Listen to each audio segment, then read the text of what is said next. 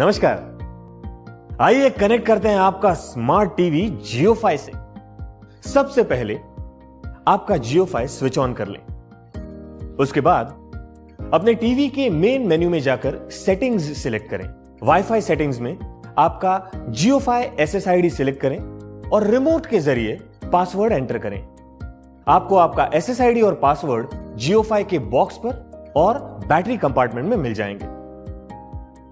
आपका smart TV अब connect हो चुका है जियो फाई से।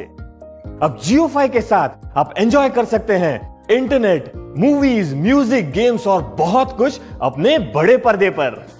धन्यवाद।